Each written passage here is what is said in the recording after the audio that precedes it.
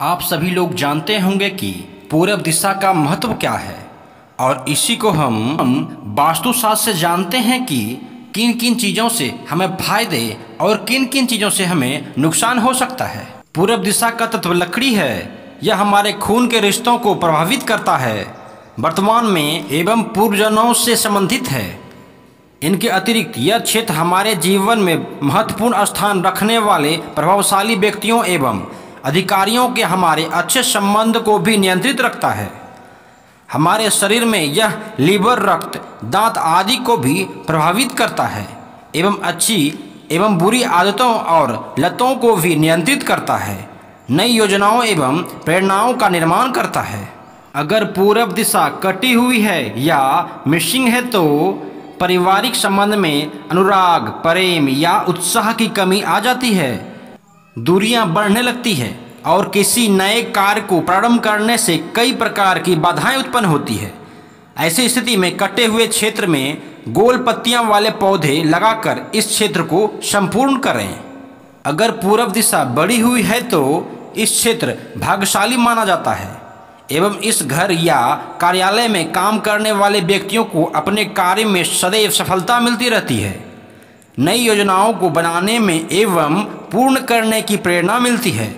अधिकारियों एवं परिवार को संबंध में मधुरता एवं उत्साह का समावेश होता है।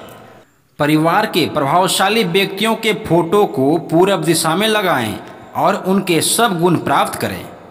परिवार के उस व्यक्तियों का फ़ोटो घर के या कार्यालय के पूर्व दिशा में लगाएँ, जो आपके प्रेरणा स्रोत है।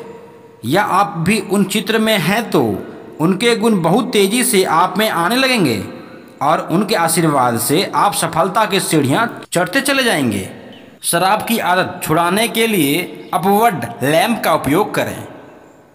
ऊपर की ओर रोशनी फैलने वाले लैंप को घर की पूरब दिशा में लगाकर, जलाकर रखने से शराब पीने वाले व्यक्ति के हृदय में प्रकाश का उदय होता है और धीरे धीरे वह शराब लत से मुक्ति प्राप्त कर लेता है।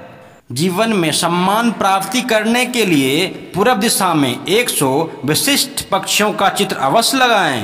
पूर्व दिशा में लगा या चित्र जीवन, प्रयत्न आपको और आपके बच्चों को धन और सम्मान प्राप्त करने की ऊर्जा प्रदान करता है।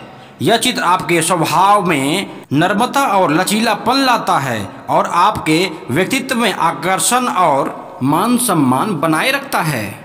आकस्मिक संकट की स्थिति में तुरंत सहायता के लिए पूर्व दिशा में संगीत उत्पन्न करने वाला कोई यंत्र, रेडियो, म्यूज़िक सिस्टम आदि धीमी आवाज़ में चला देने से आपको किसी प्रभावशाली शक्ति, अपने अधिकारी, गुरु या परिवार में से ही किसी की मदद प्राप्त होती रहेगी। बुरी लत को छुड़ाने के लिए पूर्व दिशा में सात सात तीन स्वस्थ पौधे रखें। पूर्व दिशा में रखे हुए पौधे को सम्मान से अधिक पानी की आवश्यकता होती है। और यह पौधा जितना पानी ग्रहण करके बुरी लत को छुड़ाने के लिए उतने ही ऊर्जा का निर्णय निर्माण करेंगे।